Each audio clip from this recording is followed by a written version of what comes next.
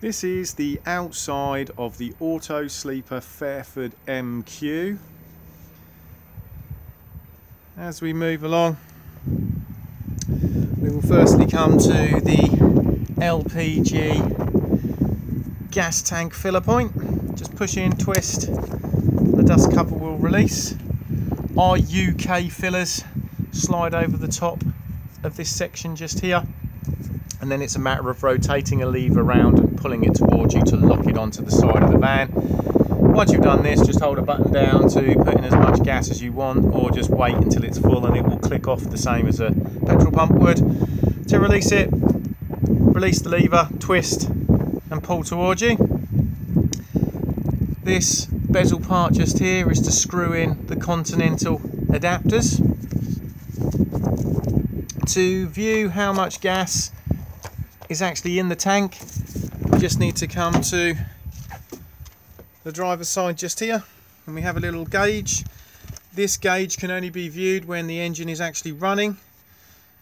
You will start off with a red light and then a series of green lights. As you use the gas they will obviously deplete until it drops back down into the red indicating that you need to then top it back up again.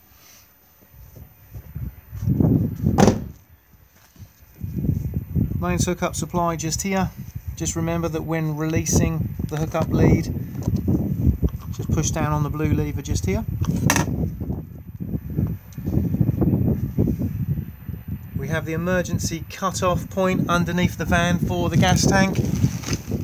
So it is located just here. So you just need to undo, remove the front faceplate and it can then be turned on and off just here.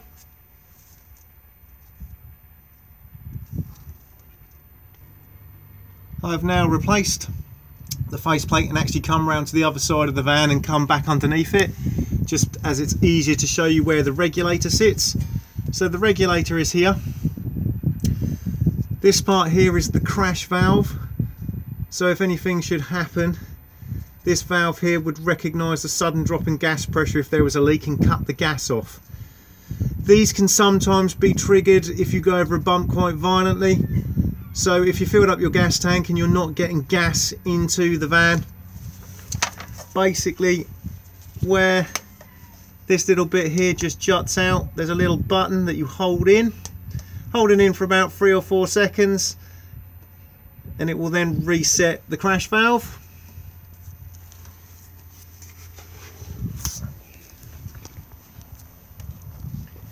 If I now move back round again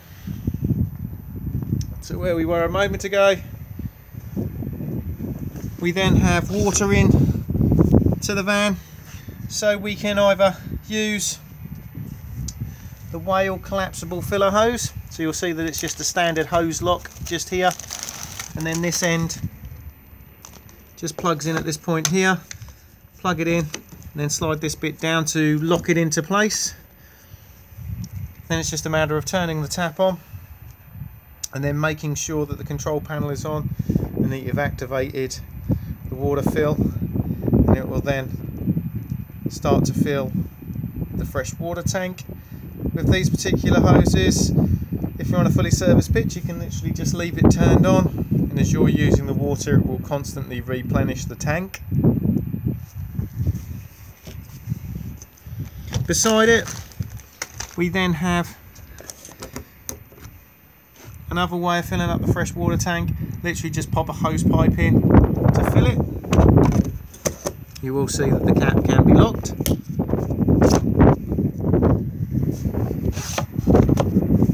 Next we have external TV and satellite ports and also an external 12 volt socket as well.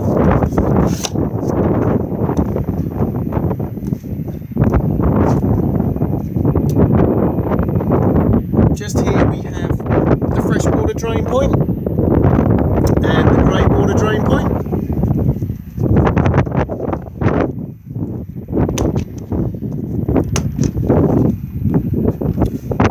Toilet just here. To remove it, just lift up, pull towards you. Before use, remove the blue cap and add your toilet chemical with a small amount of water. This is also where it empties from. Just remember that when you're pouring it away to just hold the button in just here, this will release the vacuum inside.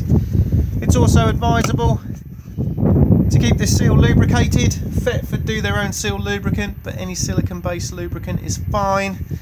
This is also a nice quick and easy way of giving the cassette a good clean. If anything was to wrap round the float mechanism and it's then giving you a false reading that it's full, it can be cleaned very easily just by twisting this part here and then just removing. All of these cassettes now are on wheels with a pull up handle.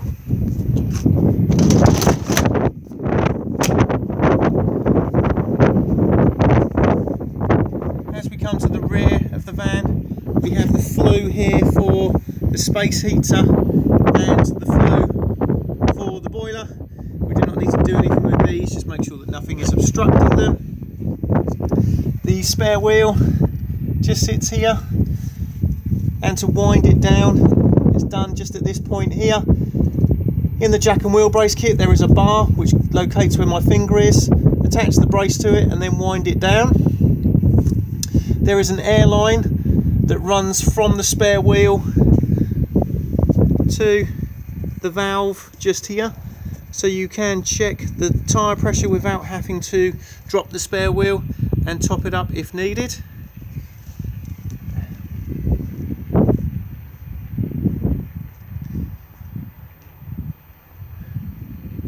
reverse camera just here.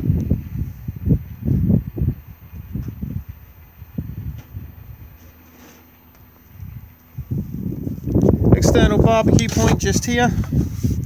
So you'll see at the moment that the actual barbecue adapter is still attached with a cable tie. So just remove it and attach the hose of the barbecue to this rib section just here and secure it with a Jubilee clip. When in use, this end plugs in where my finger is and will lock into place and it will then allow you to turn the gas on. To remove it, just push on the collar, push it up and it will then release itself.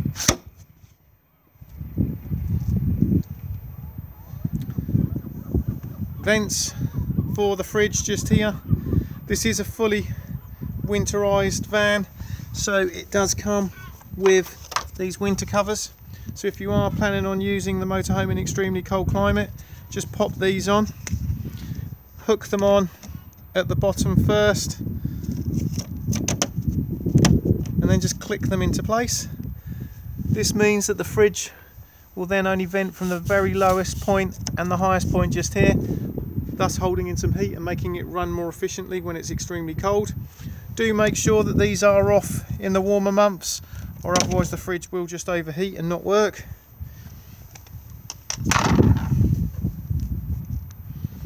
Electric step just here operates on this button just here. This will also put itself away when the engine has been started, always just make sure that it has put itself away. We then have awning light switch and the low level LED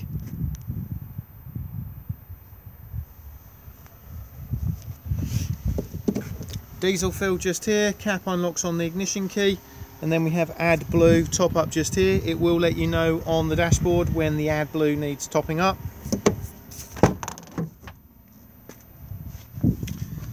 tire pressure is just here and then we have the air suspension deflate or inflate depending just here. So we have two valves for each of the airbags at the rear. Little gauges, anywhere in the green is absolutely fine. The airbags look like this.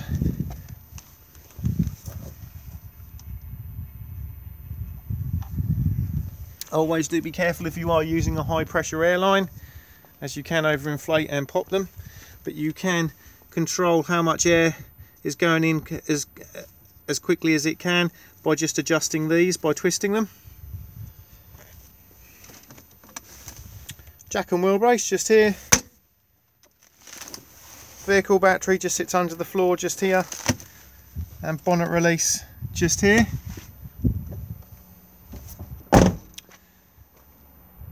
we have the roll out canopy just here to roll it out. Take the awning winding handle. And then what we're doing is we're just popping it in here and then winding